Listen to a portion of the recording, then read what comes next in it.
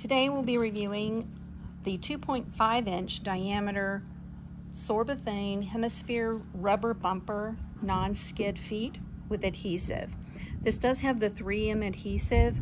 Um, use this when we make a platform magneto tester and to help reduce the vibration this is attached to the bottom as feet just like so and so it does keep the vibration down it also the unit weighs about 85 pounds so um, it, it does compress quite a bit but not too much so it still has stabilization the only thing I will say about these is that if you do expose them to higher heat in storage, they become a little bit sticky.